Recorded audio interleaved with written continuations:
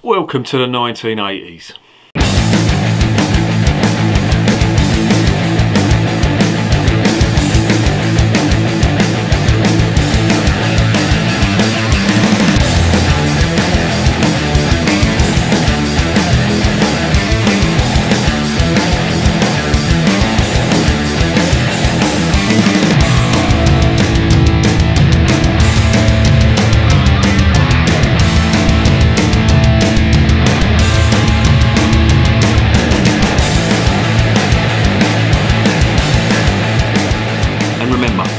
Too short to be drinking shitty beer. Welcome to another edition of Bands, Bikes and Booze Reviews. Got a weird one today.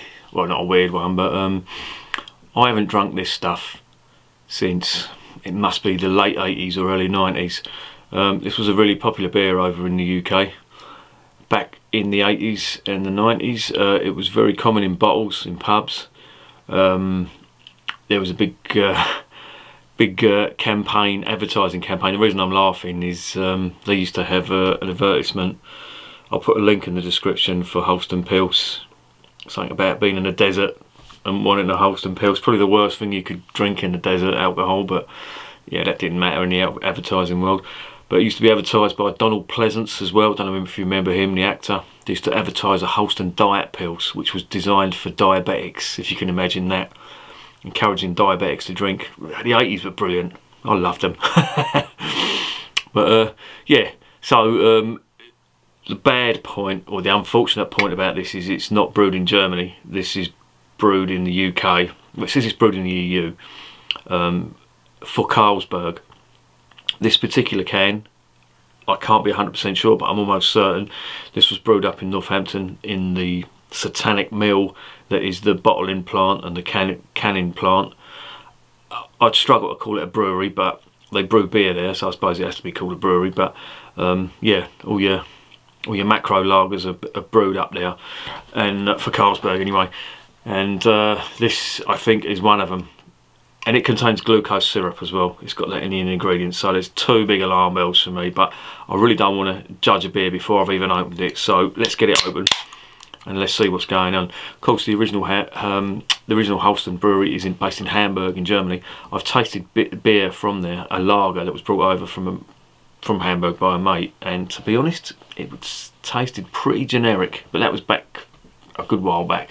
But let's give it this particular can. Let's give it a go now. Oh.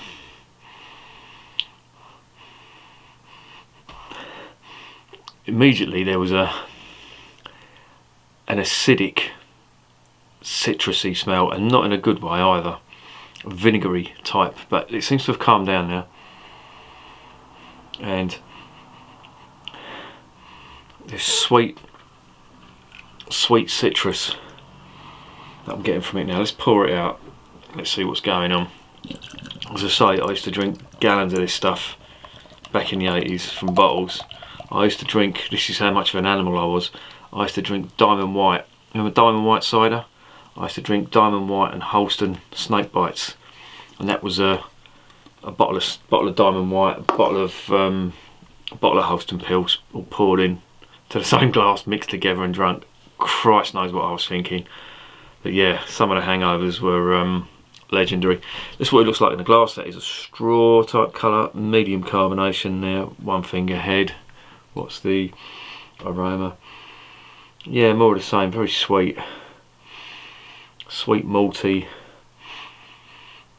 and citrus but let's give it a go.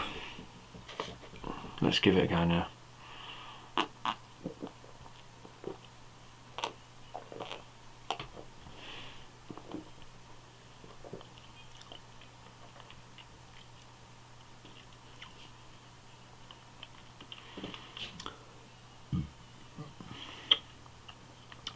Surprisingly, that is not the worst beer I've tasted.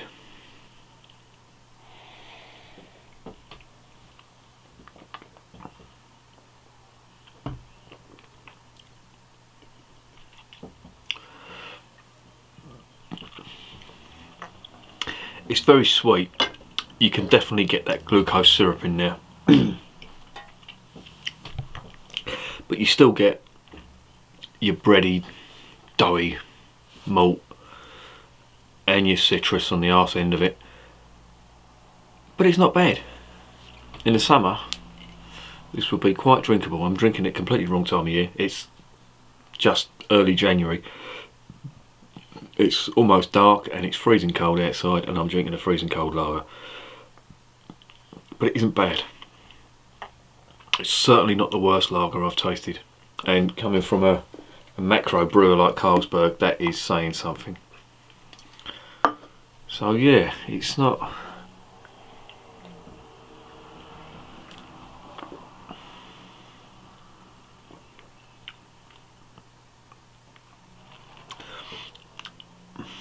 I can't fault it. It doesn't stand out as being fantastic and it's a little bit sweet. That glucose syrup, I don't know why they put that in there but apparently they had to do it. Um, but it doesn't taste bad. Um, I don't know whether you remember if you're into football but these used to sponsor uh, Tottenham Hotspur years ago. I will let that slide. I will not knock marks off for that. So I would give that.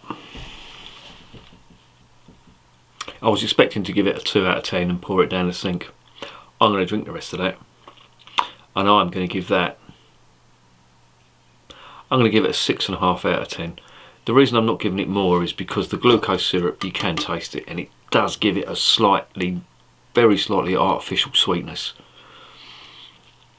Which taints it for me. I question why you need to put glucose syrup in it. I'm wondering whether they done this originally in uh, Hamburg, in the in Holsten Brewery in Hamburg. I'd like to think they didn't. Um, I've yet to find out whether they, they have or not, but um, I know there's a big thing about the old uh, purity laws, the Reinheitsgebot. A lot of German brewers, brewers want to um, circumnavigate that. Some of them just completely ignore it and put what they want in. But um, Unfortunately, this doesn't fall under that 15, 16 purity law, but it's not a bad beer all the same. Yeah, six and a half out of ten. Would I recommend it? This was a pound a can, I think. Pound nine a can in the shop round the corner. So it's cheap. So if you like lager and you want a cheap night out, you know, four or five of these, going to a party or something, or a barbecue, stick them in the fridge, they'll do the job. Quite strong, 5%. Well, not quite strong, but average strength, 5% yeah, that'll, that'll do the job very nicely.